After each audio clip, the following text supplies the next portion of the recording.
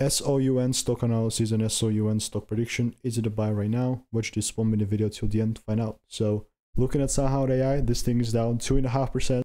And the way this thing looks like is just awesome. I mean, I genuinely am looking to take it even higher. You can see previously my prediction was a plus 3 RW. Here's the proof of me calling it out. But it then it pulled back down a tad bit. And honestly speaking, I'm looking to double down on this bullish momentum because this is in the way. Obviously, I'm going to be aware of it pulling back down into this here and then giving me that double break.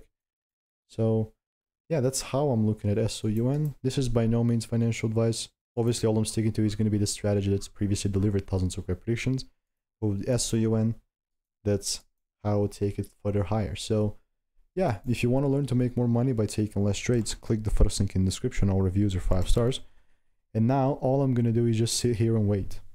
Like, literally not touch it because it already delivered. Why would I even force more unless it's a perfect setup? Yeah, goodbye and enjoy.